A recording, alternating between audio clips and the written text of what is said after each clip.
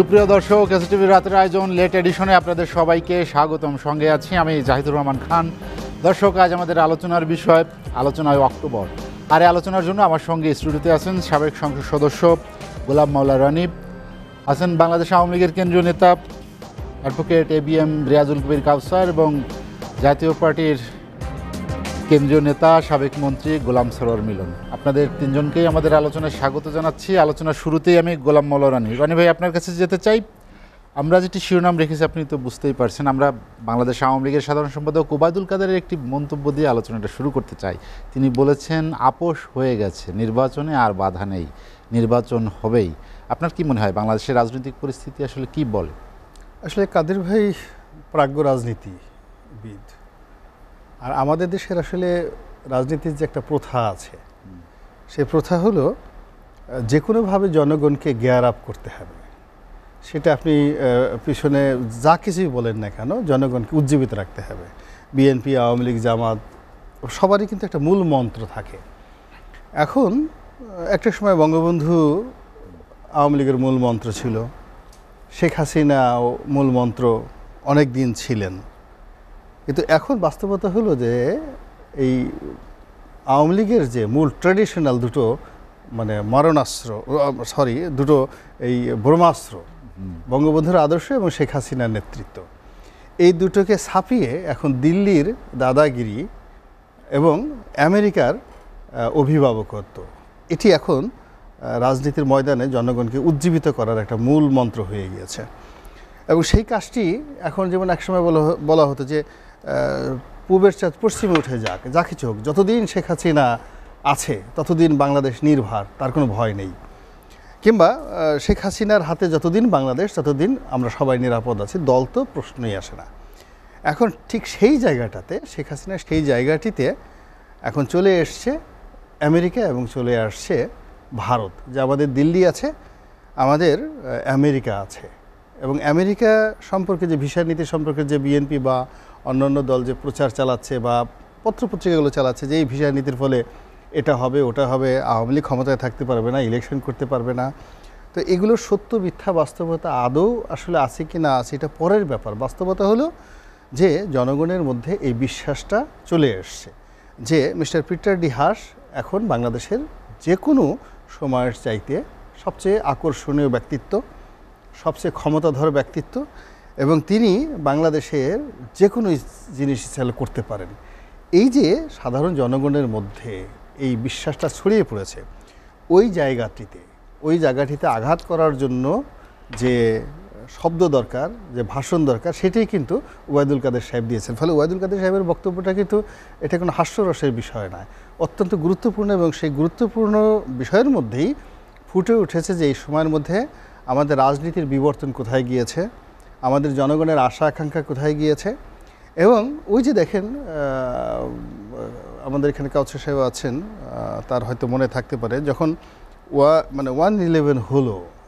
যখন শেখ হাসিনা কিংবা বেগম খালেদা জিয়া তারা যখন ছিলেন না জেলখানাতে ছিলেন তো সব জায়গাতে কিন্তু অর্নামেন্টালি তাদের চেয়ারটা খালি রাখা হতো এবং বক্তব্যের শুরুতে তাদেরকে উপলক্ষ করে তাদেরকে শ্রদ্ধা জানিয়ে যখন কোনো একটি বক্তব্য দেওয়া হতো মুহূর্তের মধ্যে কিন্তু যারা অডিয়েন্স তারা আনন্দে উদ্বেলিত হয়ে যেতেন যে শেখ হাসিনা বা খালেদা যে এরকম কোনো একটা কিছু।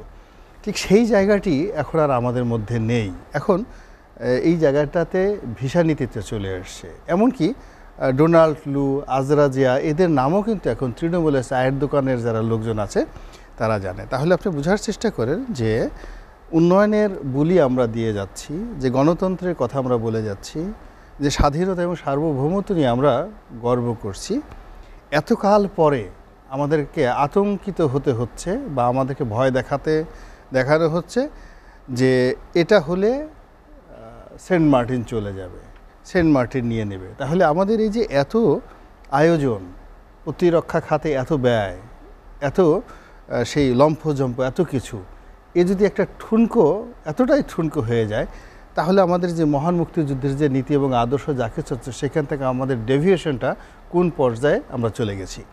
এবং একটা জাতি যখন রাজনৈতিকভাবে একটা যুদ্ধ করে সম্মিলিতভাবে একটা পৃথিবীর অন্যতম একটা বৃহৎ মিলিটারি শক্তিকে পরাজিত করে, সেই যুদ্ধের যে অর্জন, সেটি কতটা কুকর্ম করলে, কতটা খারাপ কাজ করলে, আজকে সেই যে বল, সেই বিশ্বাস, সেই আদর্শ দিল্লিতে চলে যায়, সে আদ- আদর্শ ওয়াশিংটনে চলে যায় এবং আমরা রাজনৈতিক নেতারা বলতে বাধ্য হই যে সমঝোতা হয়ে গেছে, আমেরিকার সঙ্গে চিন্তার কোনো কারণ নেই। তো মিস্টার ওবায়দুল কাদের সাহেব যেটি বলেছেন, এটি গণতন্ত্রের দেউলিয়াত্ম আরও স্পষ্ট করে বললে এটি আওয়ামী লীগের, আমি দেউলিয়াত্ব বলব না, মহা রাজনৈতিক দুর্বলতা এবং মহাভুল এবং এটি আওয়ামী লীগের মতো একটা ঐতিহ্যবাহী দলের জন্য এটি খুবই অবমাননাকর। এবং যদি আওয়ামী লীগের মধ্যে গণতান্ত্রিক মনোভাবনা থাকে, দেশপ্রেম থাকে, এবং জননেত্রী শেখ হাসিনা আজকে, আগামীকাল হয়তো আসবেন উনার যে আদর্শ উনি যেভাবে বলেন, সেক্ষেত্রে আমার কাছে মনে হয় যে উনার উচিত, জনাব ওবায়দুল কাদেরকে শোকস করা যে আপনি কেন এই কথাটি বলেছেন। প্রশ্ন হচ্ছে যে বিরোধটা কি নিয়ে বা কার সঙ্গে বিরোধ? সে বিষয়ে কিন্তু ক্লিয়ার করেননি যে কি বিরোধ? কিসের বিরোধ? এই যে আপোষ হলো বিরোধ না থাকলে আপোষের কি আছে? না ওটা ওটাই মানে এখানে অনেকগুলো এগুলো বলতে গেলে মানে খুবই অবমাননাকর। এখানে তাদের সাথে যে বিরোধ তারা বলছে যে আপনারা গুম করে ফেলেছেন। আপনারা গুম করেছেন এবং অন্যায়ভাবে শত শত মানুষের গুম করেছেন। এই গুমগুলোকে বের করে ফেলেন অথবা এগুলোর বিচার করেন। যারা দায়ী আছে তাদের বিচার করেন। তারা বলেছে যে আপনারা টাকা পয়সা পাচার করছেন। আনঅথরাইজড মানি লন্ডারিং হচ্ছে। তারা বলেছে যে আপনারা গণতন্ত্র সুশাসন প্রতিষ্ঠার পিছনে আপনারা ব্যর্থ হয়েছেন, আপনারা গণতন্ত্রকে হত্যা করেছেন।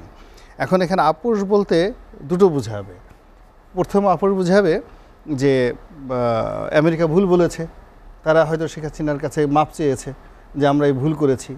অথবা দুটো ব্যাপার হতে পারে যে আমেরিকা সঠিক বলেছে, এখন আওয়ামী লীগ আমেরিকার কাছে নাকে খত দিবে যে আমরা এই কাজ আর ভবিষ্যতে করব না।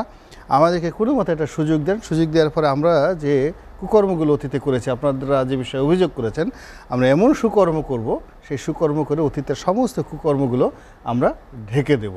এছাড়া তো আমি আপোষের আর এখানে অন্য কোনো সূত্র দেখি না। কেননা দুটো বৃহৎ শক্তি রাশিয়া এবং আমেরিকা।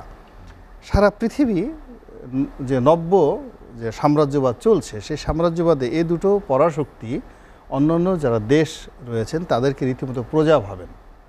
এতে কোনো সন্দেহ নেই। এমন আপনি দেখেন, ভারত আজ এত শক্তিশালী রাষ্ট্র, পরাশক্তি, কিন্তু কানাডা স্টিল তাদেরকে কীভাবে ব্যান্ড করে দিল? জাস্ট প্রজা ভাবতেছে যে এরা এশিয়ান নেটিভ জাতি, এদের সভ্যতা নাই, ভব্যতা নাই, কিচ্ছু নাই। তো সেখানে ভারতের নরেন্দ্র মোদী সাহেবের যদি এই অবস্থা হয় তো সেখানে আমাদের প্রধানমন্ত্রী বা আমাদের অবস্থা আমেরিকার কাছে কোন পর্যায়ে কতটা দৈন্যতার পর্যায়ে পৌঁছতে পারে এটা বোঝার জন্য পিএইচডি ডিগ্রিরও দরকার নাই আর ঢাকা বিশ্ববিদ্যালয়ে এম এ পাশ করার দরকার নাই। কোনো মতে এটি গণতন্ত্রের এবিসিডি জানা থাকলে বোঝা যায়। সেখানে আসলে আপোষ হয় না। আপোষ হওয়ার জন্য একটা সমপর্যায়ের লাগে। আমি যার সাথে আপোষ করব দুটো পক্ষ থাকে। এখানে আমেরিকা যে পর্যায়ে আছে সেখানে আমেরিকার আসলে প্রতিপক্ষ আসলে বাংলাদেশ কখনই হয় না। এই পর্যায়ে বাংলাদেশ যেতে আরও অনেক অনেক সময় লাগে। গোলাম আল্লাহ রানী আমি আপনার কাছে আবার আসব। Advocate A B M Riazul Kausar. Golam আল্লাহ রানী যেটি বলছিলেন আপোষের বিষয়টি তাহলে কি নির্বাচন নিয়ে কোনো বিরোধ ছিল কি না বা নির্বাচন নিয়ে বড় ধরনের কোনো প্রতিবন্ধকতা ছিল কি না যেখানে বলা হচ্ছে যে আপোষ হয়ে গেছে? আপনার কি মনে হয়? ধন্যবাদ আপনাকে। ধন্যবাদ সহ আলোচক গোল- জনাব গোলাম মাওলা রনি গোলাম সারোয়ার মিলন ভাই এসে টিভির যারা রাত জেগে আমাদের অনুষ্ঠান দেখছেন। আসলে একটা পুরনো কথা আছে যে চিলে কান নিয়ে গেছে। একবারও কিন্তু কানে হাত দিয়ে দেখে না যে কানটা আমার কাছে আছে কিনা। কিন্তু সবাই বলে চিলে কান নিয়ে গেছে। আমাদের দেশে কিন্তু এরকম একটা অবস্থা চলছে। গোলাম আল্লাহ রনি সাহেব, আমার তো মনে হয় একটা চিত্রনাট্যের কিছু অংশ বললেন। পুরোটা বলেননি? খণ্ড খণ্ড একটা চিত্র তুলে ধরলেন। এটার সাথে বাস্তবতার বর্তমান ধারাবাহিকতার কি মিল, কোথায় আছে, আমি ঠিক মিলাতে পারি নাই। তবে হ্যাঁ সামাজিক মাধ্যমে এটার গ্রহণযোগ্যতা আছে। ওনার কথাগুলো আমি অস্বীকার করছি। সামাজিক মাধ্যম অত্যন্ত শক্তিশালী মাধ্যম। এখন অনেকে পত্রিকা পড়েন না, টিভিও কম দেখেন, কিন্তু সামাজিক মাধ্যমে সাই দেন। ওনার বক্তব্য ঠিক আছে। অর্থাৎ আমার মতো আমি ভাবছি যে এই যে উনি বললেন যে গুম পাচার গণতন্ত্র হত্যা আমি জানি না এই আলোচনাগুলি কোন ফোরামে হয়েছে। দৃশ্যমান হলো যে র্যাবের উপর একটা স্যাংশন দিয়েছে। এই র্যাব তো আমাদের তৈরি কিন্তু গঠন করছে কিন্তু আমেরিকা ওখানে ট্রেনিং ওখানেই সব কিছু করেছেন। এখানে ভারতের কথা এসছে চীনের কথা আসছে, আমেরিকার কথা আসছে। না রনি ভাই আমার চেয়ে বেশি স্টাডি করেন। আমরা এক সময় দেখেছি হিল ট্যাক্সে যেতে গেলে পারমিশন লাগতো। অনুমতি ছাড়া হিল ট্যাক্সের অনেক জায়গায় যাওয়া যেত না। এবং বলা যায় এটা আর্মি শাসিত ছিল। এখন কিন্তু এটা নাই। এবং আমার তিনটা পার্বত্য জেটাল জেলার বৃহৎ অংশ কিন্তু ইন্ডিয়ার বর্ডার এবং আমরা যেই একসময়টা মানে অনুদান বা সুফল পেয়েছিলাম জঙ্গিবাদের, এটা কিন্তু ওখানের প্রোডাকশন ছিল। এবং এখন কিন্তু ভারতও বলে আমরাও নিরাপদ, বাংলাদেশও নিরাপদ। এই খাতে ভারতের যে খরচ করতে হতো, এখন কিন্তু সেটা করতে হয় না। এটা আন্তর্দেশীয় বা দুই দেশের জন্য মঙ্গলজনক। কিন্তু আমরা কিন্তু একটা পর্যায়ে চলে গিয়েছিলাম। যে যে হারে বৃদ্ধি হচ্ছিল, এখন আমি বলব না যে নির্মূল হয়ে গেছে। এখনও মাঝে মাঝে ধরা পড়ছে, বিভিন্ন আইন শৃঙ্খলা করছেন। এই শান্তিটা কিন্তু সবার দরকার। দেখুন, আজ পর্যন্ত বাংলাদেশ অফিসিয়ালি বলে নাই যে এই দেশ আমার শত্রু বা আমি এই দেশের শত্রু। আমরা কিন্তু এটা কমিউনিতে বিশ্বাস করি, সবার সাথে বন্ধুত্ব। তবে হ্যাঁ ব্যবসায়িক কারণে বা আমার লোনের কারণে বা আমার পুঁজির কারণে বা আমার র মেটেরিয়াল কারণে কিন্তু কিছু কিছু দেশের সাথে আমার একটা সমঝোতা করতেই হয়। চীনের নাম এই জন্য আসে। আমেরিকায় আমি আমি, আমার বড় এক্সপোর্ট আমেরিকায়। ভারত আমার চারদিকে, আমার ভারত। ভারতকে অনেক ভারতের কাছে অনেকভাবে আমাদের নির্ভর করতে হয়। বিশেষ করে স্বাধীনতা মহান মুক্তিযুদ্ধে ভারতের অবদান ছিল বা যে কোনো প্রয়োজন আমরা দেখেছি।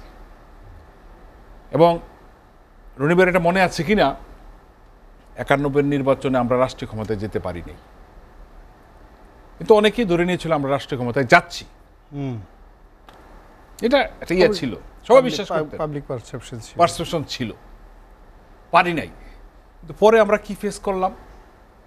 যে আওয়ামী লীগের ভোট দিলে দেশ ভারত হয়ে যেত। আওয়ামী লীগের ভোট দিলে ফেনি টেনি কি ভারতে চলে যেত। আওয়ামী লীগের ভোট দিলে উলুদিনী শোনা যেত। এইসব বা ভারত থেকে পানি আসে এই পানিতে উজু হবে না। এটা কিন্তু একসময় প্রচলিত ছিল। কমন ছিল আলোচনাগুলো। মানুষ বিশ্বাস করতো। এবং আওয়ামী লীগ এত খারাপ কি একজন কুকুরের মতো একটা ছবি মানে হ্যাঁ। টুপি দিয়ে বলতেছে এরা হ্যাঁ যাই এগুলি তো হয়েছে। এইসব অপপ্রচার কিন্তু আওয়ামী লীগ ফেস করেছে। ঠিক একইভাবে এখন সামাজিক মাধ্যমে অনেক কিছু ঘুরে বেড়াচ্ছে। যেটা রনিভাই একটা খণ্ডচিত্র বললেন। হয়তো আরও বড় চিত্র আছে। এডিট হচ্ছে যেহেতু উনি ইয়েতে কথা বলেন। প্রতিদিনই সকালে একটা বিবৃতি দেন। ইউএস স্টেট ডিপার্টমেন্টের মতো আর কি। একটা বিবৃতি উনি দেন। সেখানে তো রাতেও একটা দিয়ে। যাই ওই দুইটা দেয় একটা দুইটা দেয়। আমার সব দেখার সুযোগ হয় না বাট এই একটা অবস্থা। কিন্তু আমি যদি স্পষ্ট করে একটা কথা বলি আমি আমরা ছাত্রলীগের কর্মী ছিলাম আশির দশকে। পরবর্তী বিশ্ববিদ্যালয়ে রাজনীতি করেছি নির্বাচনও করেছি এখন আওয়ামী লীগ করি। একটা ধারাবাহিকতায় ছিলাম এই সংগঠনটার সাথে। আমি গর্ব করি কেন? এবং আমরা তো ভাগ্যবান লোক। আমরা তিরাশি সালে ঢাকা ইউনিভার্সিটিতে ভর্তি হয়েছি আমরা একানব্বই সালে বের হয়েছি। প্রায় দশ বছর আমরা ক্যাম্পাসে ছিলাম। নিশ্চয় দশ বছর থাকার কথা না। আমাদের তখন অনার্স ছিল তিন বছর মাস্টার্স এক বছর। এখন অনার্স চার বছর। আমাদের চার বছর থাকার কথা। আমাদের চার বছর ছিল তখন হ্যাঁ পরে চার বছর হয়ে গেছে। আমাদের সময় তিন বছর ছিল। না না ল তখনও চার বছরই ছিল। হ্যাঁ, না ল শুরুতেই চার বছর ছিল আছে এই যে বিষয়টা ওই সময় ও পরিস্থিতিটার জন্য দায়ী কে? আজকের প্রশ্নটা কি? সামনে নির্বাচন ক্ষমতা পরিবর্তনের জন্য দরকার নির্বাচন। একটা দল বলছে না নির্বাচন হবে না। তাহলে কি পল্টন আর বাইতুল মোকারমে দুই দলের অবস্থান হবে? এখানে নির্ধারণ হবে কারা রাষ্ট্রীয় ক্ষমতায় যাবে? Is it possible is it way to go power বুঝতে হবে এটা। কারণ এটা স্পষ্ট করে বলতে চাই। আওয়ামী লীগ উন- আহ, ঊনপঞ্চাশে জন্ম হলেও। জি। ভাই? একটু পরে আমরা না, আমি একটু বলে নিই। ফিফটি ফোরে আমরা রাষ্ট্রীয় ক্ষমতায় গিয়েছিলাম বা দেশ দেশভাগের পরের বেনিফিট কিন্তু আমরা পূর্ব পাকিস্তান পাইনি। এটা কিন্তু বঙ্গবন্ধু বলতে চেয়েছিলেন যে এই বাঘ আমাদের কোনো কাজে লাগে নাই। ওই থেকে কিন্তু আওয়ামী লীগ মাঠে ছিল। ছেষট্টি উনসত্তর গণঅভ্যুত্থান সত্তরের নির্বাচন একাত্তরের মহান মুক্তিযুদ্ধ দেশটা হয়েছে। অনেক পরে বিএনপি এবং জাতীয় পার্টি সৃষ্টি হয়েছে। বাট কখন সৃষ্টি হয়েছে? ক্ষমতায় আসছে ক্ষমতা দখল করছে দল করছে নির্বাচন করছে ক্ষমতায় থাকার জন্য কন্টিনিউ করছে। এই ছিল রাজনৈতিক দলের উত্থান। রিয়াজুল কাউসার আমি ভাই, আমি আপনার কাছে আবার আসব। গোলাম সরার মিলন যেটি গোলাম মোল্লা রানি বললেন যে দিল্লির দাদাগিরি আর আমেরিকার অভিভাবকত্ব। দিল্লি কার আমেরিকা কার? তার মানে কি বাংলাদেশের রাজনৈতিক সিদ্ধান্ত রাজনৈতিক ভবিষ্যৎ বাইরে থেকে নিয়ন্ত্রিত হয়?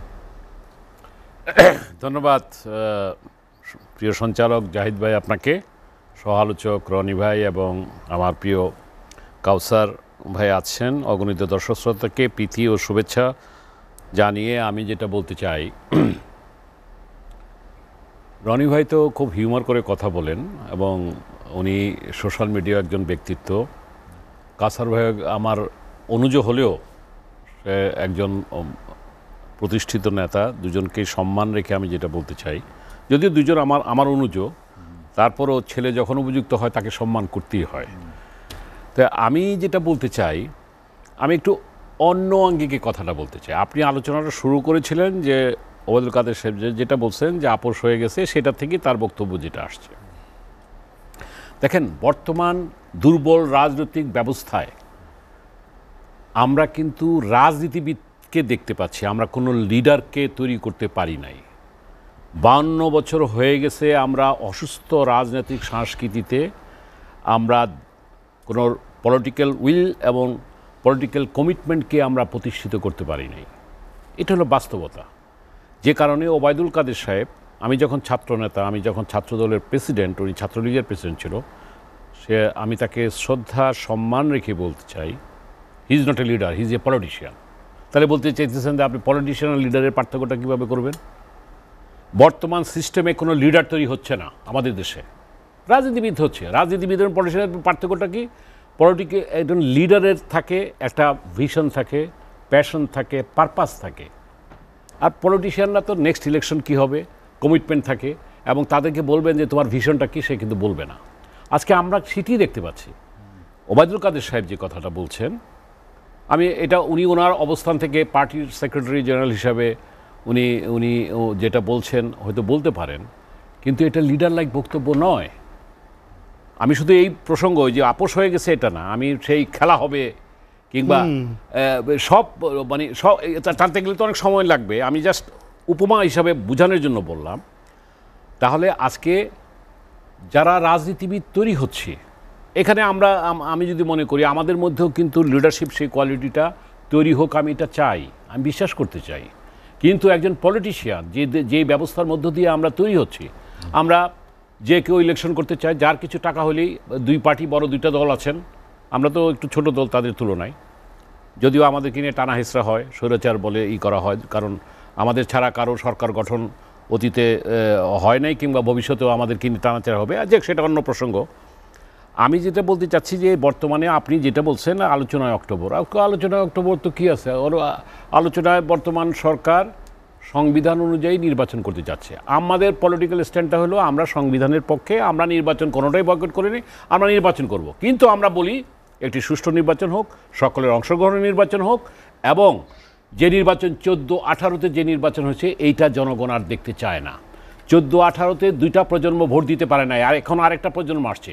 তিনটা প্রজন্ম এবার ভোট দিতে চায় এবং একটা সুষ্ঠু নির্বাচন চায়। এবং আমিও বিশ্বাস করি আপনার টকশোতে বলেছি মাননীয় প্রধানমন্ত্রীও সুষ্ঠু নির্বাচন চান। এখন আমেরিকা ভারত যে বললেন যে কথাটা কাউসার এবং ইয়ে বললেন অ্যাকচুয়ালি কি যে আজকে চোদ্দ আঠারোতে তাদের যে ফোকাসটা তাদের যে এজেন্ডাটা ছিল এক এজেন্ডাটা এখন যেটা আছে চোদ্দ আঠারোতে সেই এজেন্ডা ছিল না। এখন তাদের সেই এজেন্ডাকে মানবাধিকার গণতন্ত্র সুশাসন করাপশন ফ্রি ইত্যাদি ইত্যাদি। তাহলে এখন যেহেতু আছে সেই কারণে আজকে জনগণ যেমন চায় একটা ফ্রি ফেয়ার ইলেকশন অংশগ্রহণ ইলেকশন আন্তর্জাতিক বিশ্ব, গণতান্ত্রিক বিশ্ব সেটা চায়। এখন আমি যদি আমেরিকাকে চ্যালেঞ্জ করতে চাই, তাহলে আমার মনে হয় যে আমাদের অবস্থানগত দিক থেকে, কৌশলগত দিক থেকে, ভূ রাজনীতিগত দিক থেকে এবং অর্থনৈতিক দিক থেকে এটা ঠিক না। এই কারণে ঠিক না। ও যেটা কাসার যেটা, সাহেব যেটা বললেন। যে আমার আমদানির জন্য নির্ভর করতে হয় যেমনিভাবে চায়নার উপর, ভারতের উপর। আমার রপ্তানির জন্য নির্ভর, আমি একজন রপ্তানিকারক যে আমার ডান পাশে আছে উনি একজন রপ্তানিকারক আমার আমেরিকা রপ্তানি না করলে আমার আমার ডলার আসবে না, আমার রেমিটেন্স আসবে না, কিংবা বেশিরভাগ রেমিটেন্স মধ্যপ্রাচ্য থেকে যদিও আসে, আমেরিকা, ইউরোপ থেকেও আসে। সুতরাং আজকে আমরা যারা এই রপ্তানি বাজারটাকে আমরা আজকে এটা এখন রাজনীতি। হ্যাঁ এটা একটা রাজনীতি। সুতরাং এই ভূ রাজনীতির কারণে আমাদের সেই ভালো যোদ্ধা যে যুদ্ধে কৌশল জানে। যে কথাটা কাসা সাহেব বলে গেলেন যে সবার সাথে বন্ধুত্ব আমরা অফিসিয়ালি কারোর সাথে শত্রুতা যদি করতে নাই চাই তাহলে আমরা প্রকাশ্যে কেন হুমকি দুমকিতে যাই? কেন আমরা বিতর্কে যাই? আমরা সেখানে কি একটি কূটনৈতিক আমি মনে করি যে আমাদের পররাষ্ট্র মন্ত্রণালয় কিংবা কূটনীতিক পর্যায়ে আমাদের বোধহয় সীমাবদ্ধতাটা অনেক। আমরা বোধহয় এখানে এনরিচ হতে পারি নাই। আমরা অর্থনীতিতে অনেক আমরা প্রবৃদ্ধি হয়েছে, উন্নয়ন হয়েছে। আমরা মানসিকতার উন্নয়ন হয় নাই, গণতন্ত্রের উন্নয়ন হয় নাই এবং রাজনীতির প্রবৃদ্ধি হয় নাই। অর্থনৈতিক প্রবৃদ্ধি হয়েছে, রাজনীতির প্রবৃদ্ধি হয় নাই। রাজনীতির প্রবৃদ্ধি বলতে কি? এই যে আজকে যে আলোচনাটা শুরু করলেন আপনি, ভিসা নীতি, ভিসা নিষেধাজ্ঞা, কেন? অন্য দেশ কেন দেবে? আমরা কেন পারি না আমরা এই বড় দুইটা দল সহ সব দলের গণতান্ত্রিক শক্তিকে নিয়ে বসে একটা সমঝোতা জায়গায় যেতে? Politics democracy is a art of compromise হ্যাঁ এখানে সরকারি দলের অবশ্যই দায়িত্বটা বেশি। কিন্তু আজকে আমি রনি ভাই এখানে আছেন। বিএনপি যদি মনে করে যে রাজপথে যে কথাটা সে বলার চেষ্টা করছে, রাজপথে সমাধান হবে, এটা তো বান্ন বছর পরে আমরা এটা আশা করতে পারি না। আমরা কি একটা অ্যানার্কির দিকে নিয়ে যেতে চাই নাকি দেশটাকে? আমরা কেন বসতে পারি না? আজকে দুই পক্ষেরই একটি ছাড় দিয়ে সেই সমঝোতার জায়গায় এসে আমরা যদি সেই একটা ভালো নির্বাচন করার ব্যাপারে আমরা যে ডায়লগ করতে পারি, সেটা ইনফর্মাল হতে পারে ফর্মাল হতে পারে। সেটা আমি শেষ করে দিই এক ত্রিশ সেকেন্ডে। সেটা আজকে আন্তর্জাতিক যারা এই গণতন্ত্রের কথা বলতেছেন তাদের মুরব্বিয়ানাও হইতে পারে। আমি যেহেতু সুতরাং এইটা যেহেতু তাদের দরকার গ্লোবাল বিশ্ব আমি আপনি আপনি আমেরিকাকে তো ই করতে পারবেন না অ্যাভয়েড করতে পারবেন না। কারণ ইউরোপকে আমি অ্যাভয়েড করতে পারব না কিংবা চীনকে আমি অ্যাভয়েড করতে পারব না উল্টা দিকে যদি বলি ভারতকে আমি অ্যাভয়েড করতে পারব না আমার প্রতিবেশী রাষ্ট্র। ইভেন কি ভারত আজকে সেখানে একটা মুরব্বিয়ানা বলেন, বন্ধুত্ব বলেন, যে শব্দই বলেন, আমি বোঝানোর জন্য কথাটা বললাম। আজকে একটি সুষ্ঠু, অর্থবহ, অংশগ্রহণমূলক নির্বাচনের সমঝোতার ভিত্তিতে যদি করা যায়, তাহলে দেশটা বাড়বে। পরিশেষে একটাই কথা বলব, যদি আমি জোর করে যেভাবেই হোক যে কথাটা কসার বলার চেষ্টা করছে, ওনারা যদি একটা সংঘাতময় পরিবেশ তৈরি করে যদি ক্ষমতায় যেতে চান, কিংবা আওয়ামী লীগ যদি জোর করে ক্ষমতায় থাকতে চায় কোনোটার পরিণতি আলটিমেটলি ভালো হবে গোলাম আমরা চাই দেশটাকে। অর্থনৈতিক সংকট থেকে আমাদের দেশটাকে মুক্ত করতে। গোলাম মাল্লা রানী রনি ভাই আমরা যেটা নিয়ে আলোচনা করছিলাম আলোচনা অক্টোবর। আপনি অনেক আলোচনাই বলেছেন যে অক্টোবর একটি গুরুত্বপূর্ণ বাংলাদেশের রাজনীতির জন্য। বিশেষ করে বিএন আন্দোলনরত বিরোধী দল যে আন্দোলন করছে সরকারের যে অবস্থান। এটা আমার কোনো প্রেডিকশন বা ব্যক্তিগত কোনো বিষয় না। এটা আপনি রাজনীতি একটা ম্যাথমেটিক্যাল টার্ম। অঙ্কের একটা বিষয়বস্তু। যেমন ধরেন যদি ডিসেম্বরের মধ্যে নির্বাচন হয় কিংবা জানুয়ারির ফার্স্ট উইকে ফার্স্ট উইকে নির্বাচন হয় তাহলে কতদিন আগে তফসিল ঘোষণা করতে হবে? এখন তফসিল ঘোষণা যদি করতে হয় তখন নভেম্বরের মাঝামাঝি। নভেম্বরের মাঝামাঝি তফসিল ঘোষণা করতে হবে। তো এখন এই যে যদি নভেম্বরে আপনার তফসিল ঘোষণা করা হয় তাহলে আমাদের হাতে ফ্রি টাইম আছে কত? অক্টোবর। তা অক্টোবরের মধ্যে যদি সরকারকে কোনো একটা বিষয়ে বাধ্য করা যায় তফসিল ঘোষণা করা থেকে বিরত রাখা অথবা তফসিল ঘোষণার সাথে সাথে অন্য যে বিষয়। ফলে আমি মনে করি আমাদের জাতীয় জীবনে এই অক্টোবর মাসটা এই আওয়ামী লীগের জন্য, বিএনপির জন্য এবং অন্যান্য যে সকল দেশি এবং বিদেশি পক্ষ রয়েছে, তাদের জন্য একটি একটি যাকে বলা হয় one of the crucial movement এই অক্টোবরের মধ্যে যদি আওয়ামী লীগ উইন করে, তাহলে আপনার তারা যে দুই হাজার একচল্লিশ সন পর্যন্ত যে প্ল্যান দিয়েছে, দুই হাজার একচল্লিশ সনের আগে আওয়ামী লীগের বিরুদ্ধে কেউ কোনো কথা বলে তার বত্রিশটা দাঁত টেনে টেনে কে যে খুলে ফেলবে খুঁজেও পাওয়া যাবে না। এরকম অনেক ইনস্ট্রুমেন্ট তৈরি হয়ে যাবে সমাজে। তো এই গেল আওয়ামী লীগের অবস্থা। আর আওয়ামী লীগ যদি ফেল করে কোনো কারণে, আওয়ামী লীগের নাম নেওয়ার মতো সরে উচ্চারণ করার মতো লোক আপনি নভেম্বর, ডিসেম্বর থেকে পাবেন না। তাই আওয়ামী লীগ এটা বুঝে it's a very big party যেখানে অলমোস্ট থার্টি থ্রি পার্সেন্ট লোক বাংলাদেশে আওয়ামী লীগ করে। এর মধ্যে সমাজের নিম্নস্তরের লোক থেকে শুরু করে জ্ঞানী, গণী, পণ্ডিত ব্যক্তি আমাকে একশো বছর পড়াতে পারে, এরকম লোকও কিন্তু আওয়ামী লীগের মধ্যে আছে। তো যে বক্তব্য আমি টেলিভিশনে এসে দিচ্ছি, এই জিনিসগুলো আওয়ামী লীগের মধ্যে কিন্তু একান্তভাবে আলোচনা হয়। এই কারণে অক্টোবর ক্রুশিয়াল দ্বিতীয়ত হলো বিএনপি যারা আছে বিএনপি একটা বড় দল, জনপ্রিয়তার দিক থেকে Awami League BNP almost same ক্ষমতায় গেলে তাদের যারা ক্ষমতায় থাকে, তাদের আলটিমেটলি দুই তিন পার্সেন্ট বা ফাইভ পার্সেন্ট বেশি থাকে। এখন যেহেতু আওয়ামী লীগ ক্ষমতায় আছে, তাদের একটু বেশি। আবার বিএনপি ক্ষমতা আসলে এরকম হাইব্রিড কাউয়া বিএনপিতে যুক্ত হয়ে যাবে, তাদেরও দেখা গেল যে আরও ফাইভ পার্সেন্ট হয়ে যাবে। But both are big party তো বিএনপিরও লোকজন যারা আছে, তারাও মনে করে যে এই অক্টোবর যদি পার হয়ে যায়, কোনো মতে পার হয়ে যায়, নভেম্বরে গিয়ে আওয়ামী লীগের একটা পশম স্পর্শ করা যাবে না, কিছুই করা যাবে না।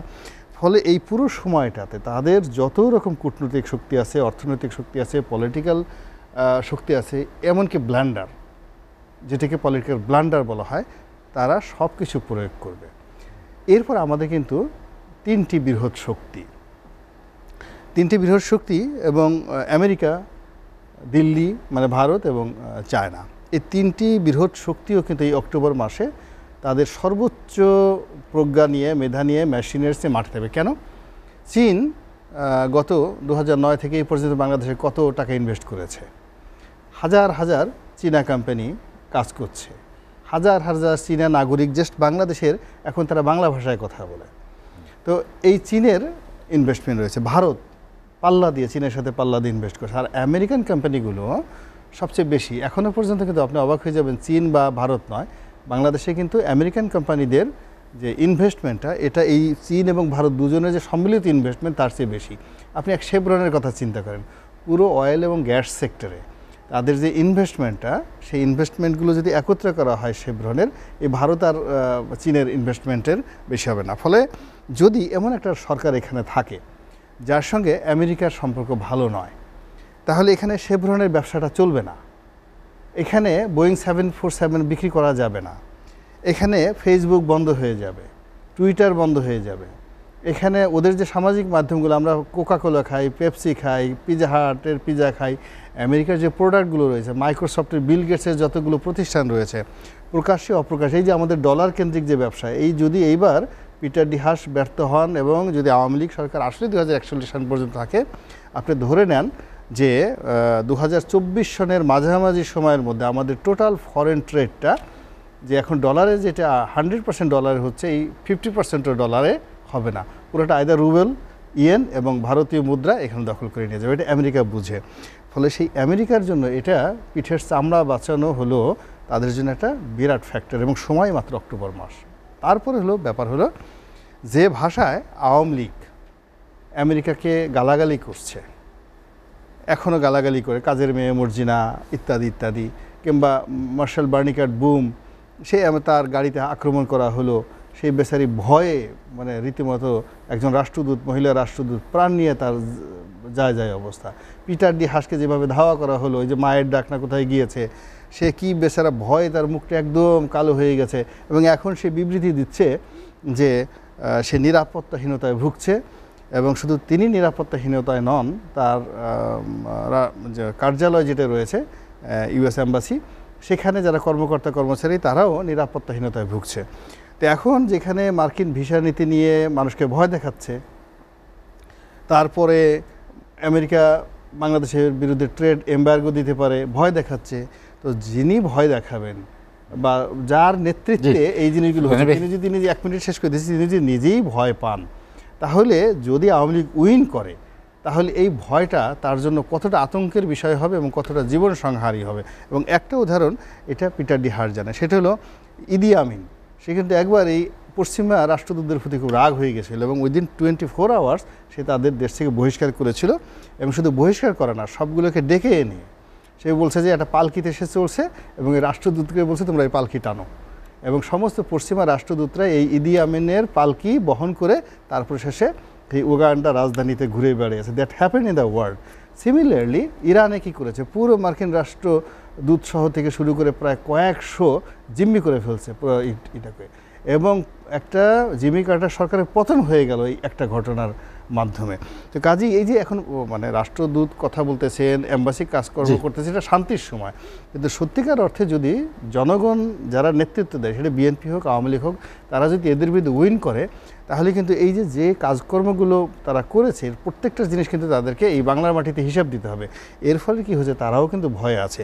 এবং সমস্ত পক্ষগুলো এই অক্টোবরকে টার্গেট করে এমন অবস্থায় যার যার পর্যায়ে আছে যে নভেম্বরে আসলে তাদের হাতে সময় নেই এটা সেটেল হয়ে যাবে। বিএনপি বুঝে যাবে যে আমাদের আর কিছু করার নেই। গোলামুল্লা রনি আমি আপনার কাছে আবার আসব। রিয়াজুল কবির কাউসার। কাউসার ভাই যেটি গোলামুল্লা রনি বলেন অক্টোবর নিয়ে তার যে পর্যবেক্ষণ আপনি কি মনে করেন যে এরকম উনি তো জাতিক ছেড়ে আন্তর্জাতিক অনেকগুলি বিষয় এনেছেন। আমাদের সরকার বা আমাদের দলের কোনো দেশের সাথে কি সম্পর্কের বৈরিতা তৈরি হয়েছে? উনি যে ব্যাখ্যাটা দিলেন আমরা থাকলে হাস থাকবে না হাস থাকলে আমরা থাকব না। এই তো বিষয় বিষয়টা এমন বললেন না? বিষয়টা তা না। হাসও থাকবেন তারা রনি ভাই এখন তো বোধহয় বিএনপির প্রতিনিধিত্ব করেন। যেহেতু আমি নির্বাচন করেছি right. মানে, হ্যাঁ, আওয়ামী লীগেরও তো করেছিলেন। হ্যাঁ?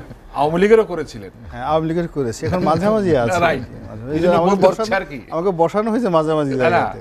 আওয়ামী লীগেরও করেছিলেন এখন বিএনপির করতে করেছেন এবং করতে চাচ্ছেন। এই কারণে এটা বললাম কেন? হ্যাঁ বাংলাদেশে এখন তিনটা বড় দল আওয়ামী লীগ বিএনপি জাতীয় পার্টি। সবাই মনে করে তিনটা দলের অংশগ্রহণ জামাতকেও বলেন কেননা জামাত ছোট দল। অলমোস্ট নিষিদ্ধ একটা দল। হ্যাঁ এবং জামাতের নাম নিতে কিন্তু আজকে বিএনপিরই করুণ অবস্থা। বিএনপি যদি মুক্তিযুদ্ধের পক্ষে শক্তি হিসেবে দাঁড়াতো এককভাবে, হয়তো অবস্থান আরও ভালো থাকতো। কারণ এদেশে নাম সংখ্যাবিহীন অনেক মুক্তিযোদ্ধা পরিবার আছেন যারা হারিয়েছেন। তারা কিন্তু এখনও দেশের জনগণ, দেশের নাগরিক। এরা এখনও নিতে পারেন না। যেই ফ্যামিলিতে স্বজন হারিয়েছেন মুক্তিযুদ্ধের সময় বা টুপুই দারিদ্রদের অত্যাচার তারা কিন্তু এটা মেনে নিতে পারেন না। যাক, ওই প্রসঙ্গে আমি যাচ্ছি না। আমার জানা কারণ থাকতে চাই দেখুন আমি বলতে যাচ্ছি কি আমরা এখন ফেস করতেছি বিএনপিকে। বিএনপির বক্তব্য কি? সরকারকে নামাবেন টেন হিস্ট্রে নামাবেন। বা এই সরকারের অধীনে নির্বাচন করবেন না। এই প্রসঙ্গটা শুরু হয়েছে গত অগাস্ট মাস থেকে। আমরা বলেছিলাম অগাস্ট মাসে আমাদের জাতীয় সুখের মাস আমরা কিছু অনুষ্ঠান করব ওনারা যেন সেটা না কিন্তু সেটা শুরু করেছিলেন ওনারা কি দেখলাম আমরা? আটটা নয়টা ঢাকা একটা। দশটা মহাসমাবেশ করলেন, দশই ডিসেম্বর। এই প্রেস ক্লাবে আমরা অনেক বক্তব্য শুনেছি, এই সরকারকে টেনে হিসড়ে নামাবেন। দশই ডিসেম্বরের পর কার কার নির্দেশে দেশ পরিচালিত হবে, শুনেছি আমরা। আরেকটা ডিসেম্বর আসতেছে, প্রায় আসতেছে। এখনও কিন্তু আলটিমেটাম দিচ্ছেন, এক দফা আটচল্লিশ ঘণ্টা, চব্বিশ ঘণ্টা। দেখুন, আমাদের মূল শক্তি, আমরা তো অনেক দেশের আলোচনা করলাম আমেরিকা, চীন, ভারত, তাই না? আসলে মূল শক্তিটা তো আমাদের দেশের জনগণ আর ভোটাররা। এটাকে প্রাধান্য দিতে হবে। তারা এদিকে ঝুঁকে গেছে কিনা অবশ্যই বাংলাদেশের মানুষ আন্দোলন, গণ আন্দোলন, গণ অভ্যুত্থান সম্পর্কে ধারণা আছে। কেন দেশটাও কিন্তু এটা দিয়েই হয়েছে। এবং স্বাধীনতার পর আমরা নব্বইয়ের আন্দোলন কিন্তু একটা গণ অভ্যুত্থানই বলতে পারি আমরা, হয়েছে। এই একটা ধারণা আছে। শুধু প্রেস ব্রিফিং করে আন্দোলন ঘোষণা করলে তো আন্দোলন সফল হয় না।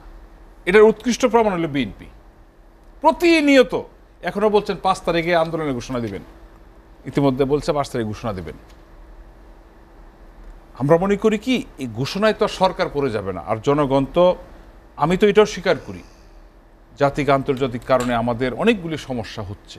মানুষের ক্রয় ক্ষমতা, আয় ব্যয়, অবশ্যই স্বীকার করতে হচ্ছে। ডলারের দাম বেড়ে গেছে, এটার প্রভাব পড়েছে। সমস্যা হচ্ছে না তা না, সরকার আমলে নিচ্ছে।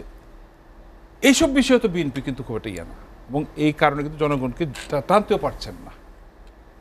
একটা সরকার কখন চাপে পড়ে, যখন জনসমর্থনটা কমে যায়, দেখতে পাচ্ছেন। দেখুন, আজকে মাননীয় প্রধানমন্ত্রী শেখ হাসিনার নেতৃত্বে আওয়ামী লীগ সরকার প্রায় পনেরো পনেরো বৎসর আমরা যখন আন্দোলন করেছি, তখন কিন্তু আন্দোলনের হাতিয়ার ছিল হরতাল অবরোধ। আমার মনে হয় এইগুলি এখন অনুপস্থিত হয়ে গেছে। বাংলাদেশের একটা জেনারেশন হরতাল জিনিস ভুলে গেছে। যেটা ছিল পনেরোই আগস্টের পরে যারা রাষ্ট্রীয় ক্ষমতা এসেছিলেন, তাদের হাতিয়ার ছিল মার্শাল কারফিউ। সন্ধ্যাবেলা কারফিউ দিতে কেউ বেরোতে পারবেন না। এই অবস্থা তো বাংলাদেশে ছিল। হরতালও এখন ওই ছোটোখাটো বাম দলের কেউ কেউ করেন, পল্টন সর্বস্ব ওইটাই। তবে হরতাল ঘোষণা দেওয়া সহজ, অবরোধের ঘোষণা দেওয়া সহজ, কিন্তু সেটা পালন করা বা জনগণ এটার পক্ষে আছে কি না, এটা কিন্তু একটা বিষয়। আমরা কিন্তু সেই জায়গাটায় উত্তরণ করতে পেরেছি। এখন দেশের মানুষ হরতাল নেবে না। বিএনপি দিয়ে দেখতে পারে। তাই না? কিন্তু সফল না হলে কিন্তু আবার ব্যাকে চলে যেতে হবে। কারণ বিএনপি কিন্তু বরাবরই আন্দোলনের ঘোষণা দিচ্ছেন। কোনো আন্দোলনে পানি পাচ্ছেন না, আবার সেই জায়গায় চলে যাচ্ছেন। আবার আন্দোলনের ঘোষণা দিচ্ছেন। যেহেতু দলটি প্রায় সতেরো বছর ক্ষমতার বাইরে, অবশ্যই অবস্থান তো নেবেই। কিন্তু কার বিরুদ্ধে নেবে? বাংলাদেশ আওয়ামী লীগের বিরুদ্ধে। আওয়ামী লীগ নিঃসন্দেহে গ্রাম গ্রামে গঞ্জের কিছু কিছু লোক কিন্তু গর্ববোধ করে যে আমি আওয়ামী লীগ করি। আমার বাবা মুক্তিযোদ্ধা ছিল বা এই যে একটা গর্বের বিষয় এই জায়গাটা কিন্তু আওয়ামী লীগ এখনও আছে। জি। রিয়াজুল স্যার কাসর ভাই আমি আপনার কাছে আবার আসব। গোলাম সরম মিলন যেটি নিয়ে আলোচনা করছিলাম যে আসলে কি ঘটতে পারে অক্টোবরে? অক্টোবরকে কেন গুরুত্ব দেয়া হচ্ছে বেশি? না অক্টোবরে ঘটতে পারে মানে কি? অক্টোবরে তো বিএনপি সে সমাবেশ করছে এবং আপনি মহাসমাবেশ করছে এবং অক্টোবর তারা ডেডলাইন দিচ্ছে যেটা বলল আলটিমেটাম দিচ্ছে। আর আওয়ামী লীগ শান্তি সমাবেশের মাধ্যমে বলছে যে আমরা যথাসময় নির্বাচন করব সংবিধান অনুসারে। আসলে এই যে একটা জনগণ উদ্বেগ, উৎকণ্ঠার মধ্যে রয়েছে, আন্তর্জাতিকভাবেও কিন্তু যেমন বিএনপি বলছে যে এই ভিসা নীতির কারণে সরকার খুব চাপে আছে সরকার বাধ্য হবে। আবার আওয়ামী লীগ বলতেছে এই এই ভিসা নীতির কারণে বিএনপি ভবিষ্যৎ সমস্যা আছে। আবার বিদেশিরা বলতেছে যে এই ভিসা নীতির এটা নিশ্চয়ই কোনো বিনিয়োগের প্রশ্নে, বাণিজ্যের প্রশ্নে কিংবা ভিসা নীতি এটা কিন্তু কোনো সম্মানজনক নয়। সুতরাং এটা আমরাও মনে করি এটা সম্মানজনক নয়। সুতরাং এই জিনিসটা কেন হয়েছে এটা হয়েছে তো আমাদের এই যে বৈরী রাজনীতির সংস্কৃতির যে অবস্থান, এটা থেকে তো আমরা বেরিয়ে আসতে পারি নাই। আমি যে কথাটা প্রথমেই বলছিলাম, আমাদের এখানে রাজনীতি হচ্ছে, আমাদের নেতৃত্বের কোয়ালিটি নেতা কারা ছিল? Maulana Abdul Hamid Khan Bhasani. He was the leader Bangabandhu Sheikh Mujibur Rahman. যে যাই সমালোচনা করেন, আমি আজকে বলি যে জিয়া রহমান যেভাবেই ক্ষমতায় আসুক, সেও একটা লিডারশিপ দিয়েছিল পঁচাত্তর পরবর্তীতে। সেটা আমাদের অনেকের দৃষ্টিতে ভালো লাগুক বা না লাগুক। আপনারা বলবেন হুসেন মোহাম্মদ এরশাদ, উনি হয়তো লিডার ছিলেন না but he was A Statesman উনি হয়তো রাজনীতিবিদ ছিলেন না, উনি রিফর্ম করেছেন। আজকে এই কথাটা কেন টানলাম এদের কথাটা?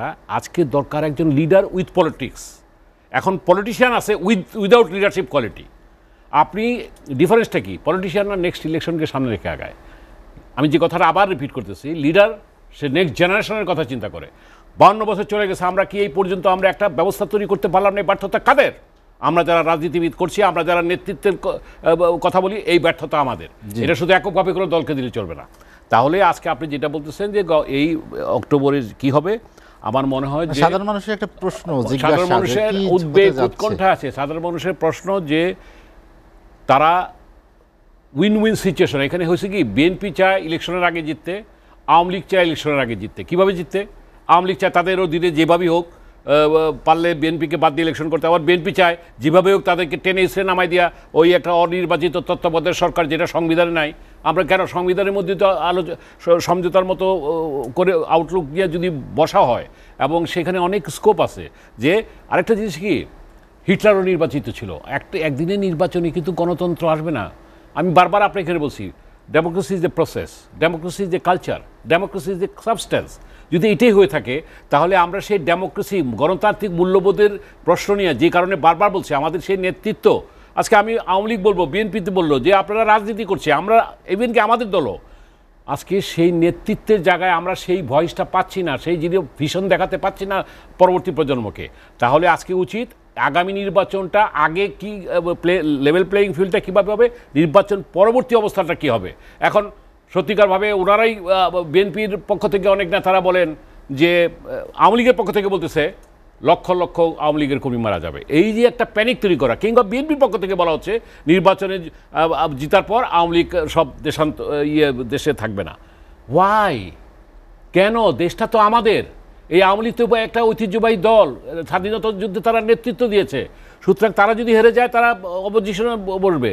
এবং বিএনপি যদি যে বিএনপি ক্ষমতায় আসবে, আজকে কিংবা তারাই যদি এই যে পলিটিক্স অফ ইনহেলিয়েশন সেই একুশে অগস্টে বঙ্গবন্ধু কন্যাকে যেভাবে করার চেষ্টা করা হয়েছিল, পরবর্তীতে কি দেখলাম? বেগম জিয়াকে আজকে আমরা দেখছি যে তাকে ইনহেলিয়েশন করার চেষ্টা। কি সেটা? তার অসুস্থ। আচ্ছা ঠিক আছে, আইন অনুযায়ী তার বিদেশ পাঠানো যাবে না। ভাই, মানবিক কারণে তার চিকিৎসার ব্যবস্থা করো। দেশে, বিদেশে যদি সেই চিকিৎসা যেভাবে করতে হয়, সেভাবে করো। ওয়াই আমরা কেন পারছি না আজকে এই জিনিসটা ইয়ে আসতে? তাই আমি মনে করি যে পলিটিক্স অফ ইনহেলিটেশন থেকে বেরিয়ে আসতে হবে। আমরা যাতে একটা সমঝোতার জায়গায় আসি। এখন আগেই শর্ত যদি দেওয়া হয়, যেটা শোনা কথা, আমরা আমি তো আর ছিলাম না যে বেগম জিয়াকে শর্ত দেওয়া হয়েছে নির্বাচনে আসলে তাকে বিদেশ যেতে হবে।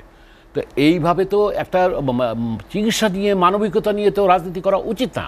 তাহলে তো কোনো এখানে সুস্থ রাজনীতি গড়ে উঠবে না। যে কথাটা আমি বারবার বলছি, আমরা ভবিষ্যৎ প্রজন্মের জন্য কি, আমরা কি করতেছি, এই কথাটা একবার চিন্তা করা উচিত। পরিশেষে আমি এটুকু বলব যে আজকে জনগণ কিন্তু উৎকণ্ঠায় আছে, তারা একটা নির্বাচন চায়। আমরা কিন্তু ওয়ান ইলেভেনের মতো কিছু চাই না।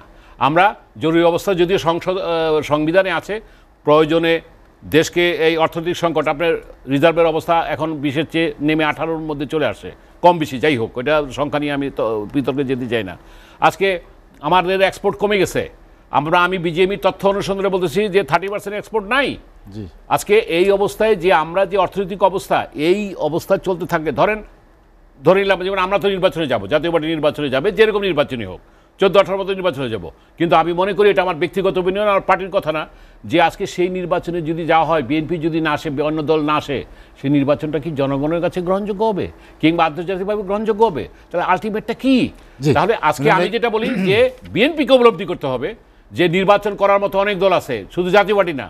আজকে অনেক দল দাঁড়িয়ে গেছে তাদেরও পুনর্বিবেচনা করা উচিত যে হ্যাঁ আমি নির্বাচন করব। আসলে কে কি চাচ্ছে?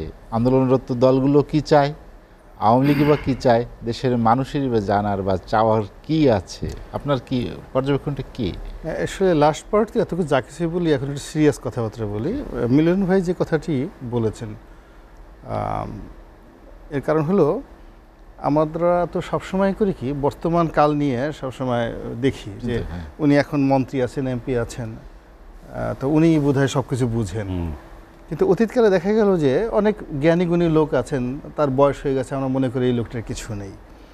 তো উনি যে বয়সে মন্ত্রী হয়েছেন সে বয়সে এখন অনেক ছেলে লেবেন চুষ খায়।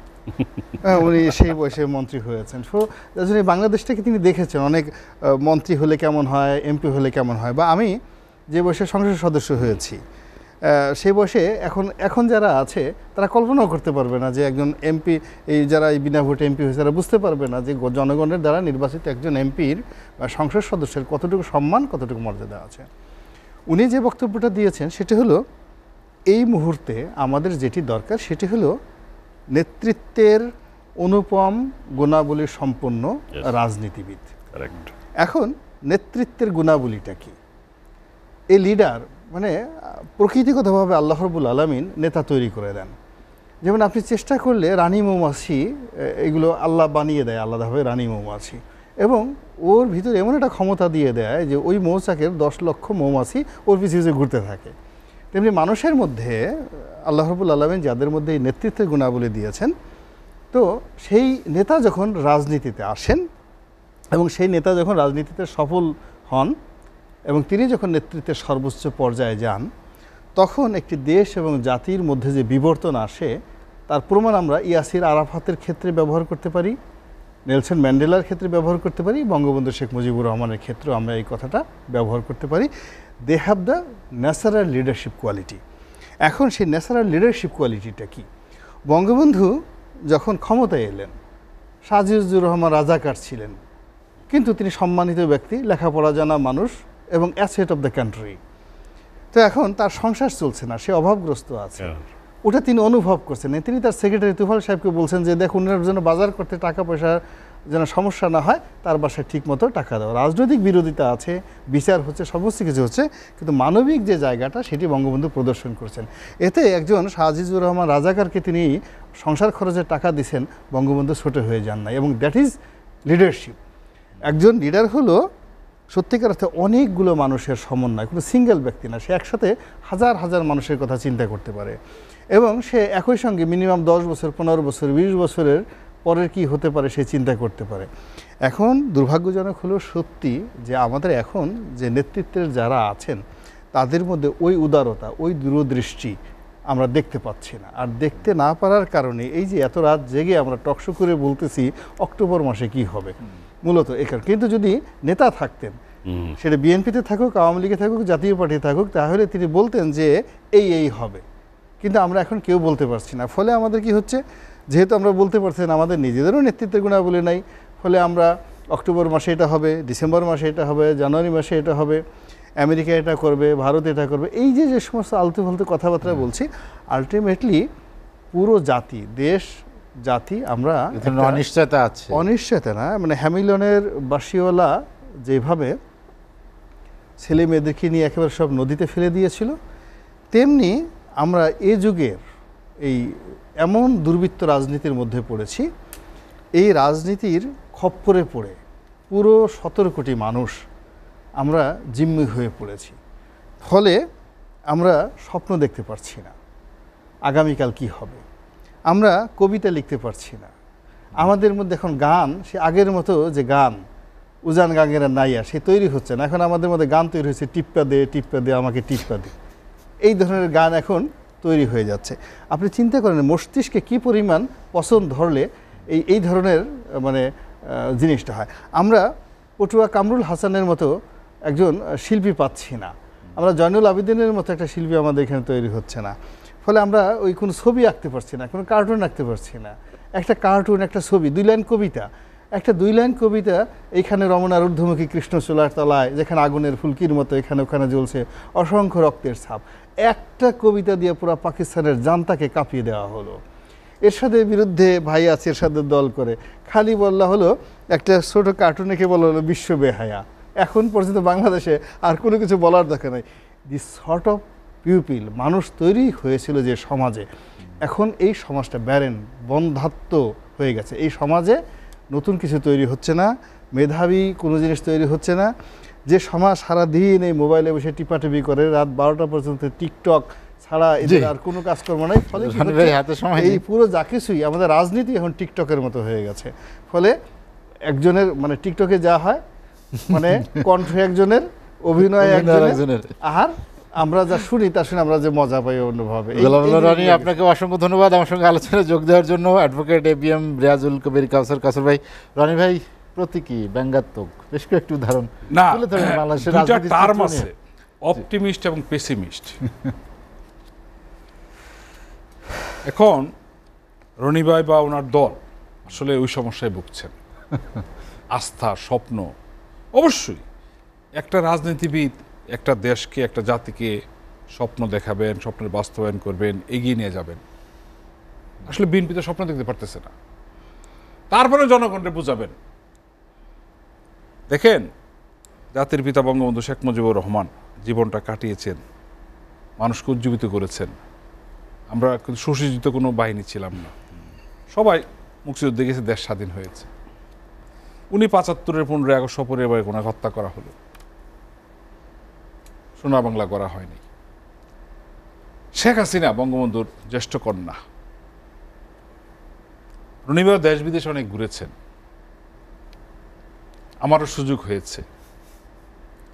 উনি কিন্তু কারোর স্বপ্ন দেখান না এখন আর, স্বপ্নের বাস্তবায়ন করেছেন। মেট্রো রেল, পদ্মা সেতু, এগুলো কিন্তু স্বপ্নের বিষয়, আমাদের মতো দেশে। আমরা তো নিজেরা নিজেদেরকে গরিব কান্ট্রি বলি। তাই না? আস্থাটা জাগাতে হবে। আমার দেশ এগিয়ে যাবে।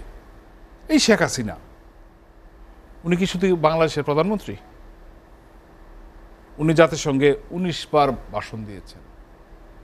বিশ্বের এমন হয়তো বলবেন, উনি ব্রিক্সে জি টোয়েন্টিতে উনি মেম্বার না। উনি কি আমন্ত্রিত হন নাই? হয়েছেন। এবং সম্মানিত হয়েছেন। কেন, ওই আলোচনা তো করতে পারতেছি না এখন, যে বাংলাদেশের অবস্থানটা এখন। আগে আমরা শুনতাম সিঙ্গাপুর সিঙ্গাপুর সিঙ্গাপুর। আমরা কি ভৌগোলিক কারণে এখন সিঙ্গাপুরের অবস্থানে যাইনি? আমরা কি অনেকগুলি পোর্ট করে তুলিনি? আমরা তো নিউ ইয়র্কে যেতে, আগে যেতাম শুধু লন্ডনে এখন আশেপাশে আমরা নামতেছি না বাস হয়ে যাচ্ছি না কানাডা যাচ্ছি না নতুন স্টেশন হয়েছে না সেটা তো আমাদের হতে পারে। শেখ হাসিনা কিন্তু জাতিকে স্বপ্ন দেখেছেন বাস্তবায়ন করেছেন। এটা সাধারণ মানুষ আমলে নিয়েছে। হ্যাঁ আমি মনে করি বিএনপি একটা বড় দল। ভোটে যদি এমন কিছু না দেখাতে পারতো, একটা বড় প্রশ্ন তাহলে হয়তো বা এটা যদি বলেন এটা আমাদের দুর্ভাগ্য। রাজনৈতিক দলের দুর্ভাগ্য। যে নির্বাচন নির্বাচন ভোটে আস্থার পরিবেশ নির্বাচন প্রক্রিয়ায় যে বিতর্কিত করে তোলা যে হয়তো বলবেন ভোটাররা আসছে না কেন? এটা কিন্তু এই ব্যর্থতা আমাদের রাজনৈতিক দলের। একটা দল পাঁচ বছর রাষ্ট্রীয় ক্ষমতায় থাকবে। শেষ হওয়ার তিন মাস আগে নির্বাচন কমিশনের নির্বাচন করতে পারবে না। এই জন্য অন্য একটা অনির্বাচিত সরকার আসতে হবে। হ্যাঁ আমরাই তো কেয়ারটেকার সরকার চেয়েছিলাম। কিন্তু সেই কেয়ারটেকার বিতর্কিত করল কারা? নব্বই দিনে কেয়ারটেকার দুই বছর হলো কেন? রাষ্ট্রপতিকে কেয়ারটেকার দায়িত্ব নিতে হলো কেন? কারা করল বিতর্কিত এটা? এখন আমাদের কত হলো দেশে অনির্বাচিত সরকার থাকবে না সাংবিধানিক ধারাবাহিকতা থাকতে হবে। আপনি যেটা শুরু করেছিলেন আমি শেষ করতে চাই। জি। অক্টোবরের পরে নভেম্বর আসবে সেকেন্ড উইকে শিডিউল হবে জানুয়ারির প্রথম সপ্তাহে নির্বাচন হবে। সেই নির্বাচনে যারা সংখ্যাগরিষ্ঠতা পাবে তারা রাষ্ট্রীয় ক্ষমতা যাবে। এই যে আলোচনা করছি না এটা সময়ের খেলা। Joy Bangla. Advocate A B M Riazul কাসার আপনাকে অসংখ্য ধন্যবাদ। গোলাম সরার মিলন। কাসার ভাই একটি সরল সমীকরণ দিলেন। জয় বাংলাদেশের রাজনীতি কি এই সমীকরণে হাঁটছে? আপনার কি মনে হয়? না সমীকরণ মানে কি? আম- আমরা চাই যে একটা বারবার কনক্লুডিংয়ে এটি বলতে হয় যে একটা নির্বাচন হোক সকলের অংশগ্রহণে। তবে এই সংকটকে এই অক্টোবরেই সমাধান করা উচিত। দুই দল বলেন সকল দলের মিলে কিন্তু আজকে এই নির্বাচনী যে সংকট, আস্থার যে সংকট কিংবা ব্যবস্থাপনার যে সংকট, সেটাকে সমাধান করা উচিত আলোচনার ভিত্তিতে। নাম্বার ওয়ান নাম্বার টু আজকে যে কূটনীতিকদের সাথে যে আচরণ কিংবা আমরা যেভাবে লম্ফজম্প করছি রাষ্ট্রের পক্ষ থেকে, এটা কমিয়ে এসে এনে তাদের সাথে একটা এমন একটা এটাকে কি বলব, আমাদের বন্ধুত্বপূর্ণ সহনশীলতার মধ্যে থেকে সমাধানের একটা পথ বের করার নতু- নতুবা আমাদেরকে গ্লোবাল ভিলেজে বাস করতে হবে তাদেরকে নিয়েই। আমরা মুখে যতই বলি যে আমাদের কেউ প্রকাশ্য শত্রুরা, কিন্তু আমরা প্রকারান্তরে আমাদের বক্তব্যে, আচরণে, বক্তব্যে আমরা যদি, আমরা কিন্তু আমরা একটা এনিমি তৈরি করছি, যেটা তারা তাদের মতো করে ষড়যন্ত্রের সুযোগটা পাচ্ছে, এটা আমরাই সুযোগ করে দিচ্ছি। তাই আমি যেটা বলব যে বাংলাদেশ আর যুক্তরাষ্ট্র কিন্তু সমান সক্ষমতার দেশ না, এটা আমাদের বুঝতে হবে। যুক্তরাষ্ট্রের গণতন্ত্র কিন্তু নিখুঁত না, সেখানেও দুর্বলতা আছে। যুক্তরাষ্ট্রের কিন্তু ত্রুটি বিচ্যুতি আমরা ধরে এই মুহূর্তে কোনো লাভ নাই, আমাদের উচিত, জোর দেওয়া উচিত যে আমরা কীভাবে ম্যানেজ করব, কীভাবে আমরা এটাকে একটা আস্থায় নিয়ে জনগণকে বিরোধী দলকে কিংবা বিদেশিদেরকে আস্থা নিয়ে একটা নির্বাচনমুখী হব এবং পরিশেষে শুধু এটুকু বলব যে কথাটা বললেন যে কাউসার আমার প্রিয় কাউসার ভাই বলি সাহেব বলি যেটাই বলি হ্যাঁ উনি ওনার পক্ষ থেকে আশাবাদী হতেই পারেন ও সে আশাবাদী হতেই পারে অক্টোবরে একটা সিদ্ধান্ত হবে। আমাদের পক্ষ থেকে বলতে চাই পরবর্তী প্রজন্মের জন্য আর চোদ্দ আঠারোর মতো কোনো উদাহরণ যাতে তৈরি না হয়। হয়, আমরা যাতে করে যাতে করে আমরা একটি সাংবিধানিক ধারাবাহিকতার মধ্য দিয়ে একটা সমঝোতার ভিত্তিতে আমরা দেশটাকে সামনের দিকে নিয়ে যেতে পারি। আমরা কিন্তু ত্রিশ লক্ষ শহীদের রক্তের বিনিময়ে কিন্তু এই দেশটা স্বাধীন করেছি। সুতরাং এমন কিছু করা উচিত হবে না যেটা ভবিষ্যৎ প্রজন্মের কাছে আমাদের গিয়ে মিলন। আপনাকে অসংখ্য ধন্যবাদ। হাতে সময় নেই আমি আলোচনা শেষ করতে চাই। Golam Maula Rony advocate A B M Riazul Kabir Kausar আপনাদেরকে অসংখ্য ধন্যবাদ। দর্শক জানিয়ে রাখি লেট এডিশন পুনঃ প্রচার হয় সকাল আটটায়। আজ এ পর্যন্তই। ভালো থাকুন সুস্থ থাকুন এসএটিভির সঙ্গেই থাকুন।